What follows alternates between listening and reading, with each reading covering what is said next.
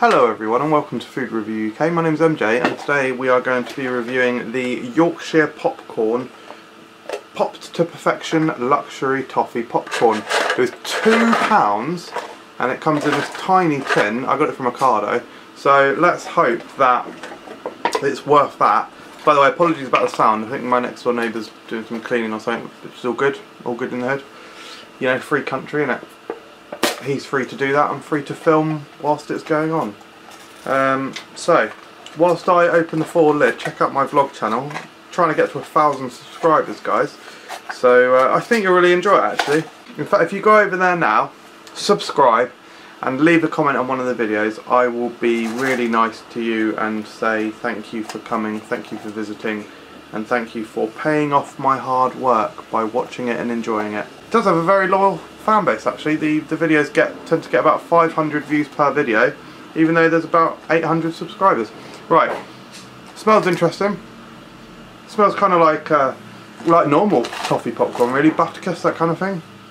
Don't know if the company will be happy with me comparing them to one of the largest brands in the UK, but yeah, who aren't known for their gourmet popcorn is what I mean by that. Right, here we go guys. Mmm, very nice.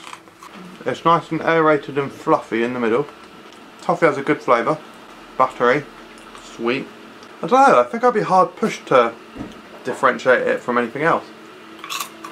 And when you consider like, that yeah, it's hard to tell the difference. Does that then mean this isn't worth the price?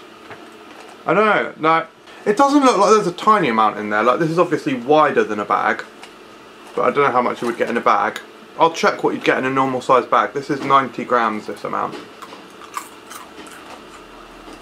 In date for a good long while as well. I'm enjoying these on the 1st of July. And they're best before the 13th of February 2018. Day after my birthday. Yeah.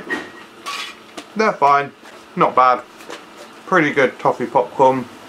Fairly nice flavour. But having said that, completely on the mark in terms of what you would expect it's not really doing anything different or bold. Tried the Yorkshire crisps recently and they were really really tasty. They were kind of pretty pretty well above average crisps, really delicious and enjoyable. These are pretty bang average run of the mill toffee popcorn. I give this three stars. It's good stuff guys. Thank you very much for watching. Check out our Instagram page at Frukgram and subscribe to this channel for more. Cheers.